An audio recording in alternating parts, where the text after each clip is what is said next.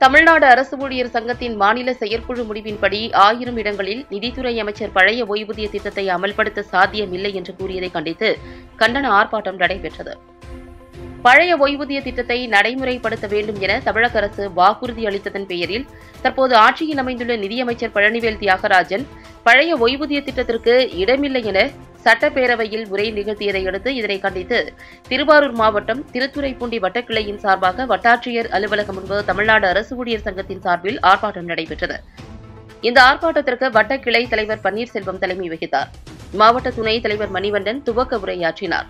ஊரக வளர்ச்சித்துறை மாவட்ட பொருளாளர் சிவக்குமார் தருமையன் ஆகியோர் வாழ்த்துரை வழங்கினர். மாவட்ட செயலாளர் பிரகாஷ் கோரிக்கை விளக்கு உரையும் நிறைவுரையும் ஆற்றினார். இதில் ஊரக வளர்ச்சித்துறை வருவாய்த்துறை கருவூலத்துறை சாலை பணியாளர்கள் நெடுஞ்சாலைத்துறை மற்றும் அனைத்து ஊழியர்களும் பெரும் திரளாக கலந்து கொண்டனர். மாவட்ட செயற்குழு உறுப்பினர் செல்வம் நன்றியுரை கூறினார்.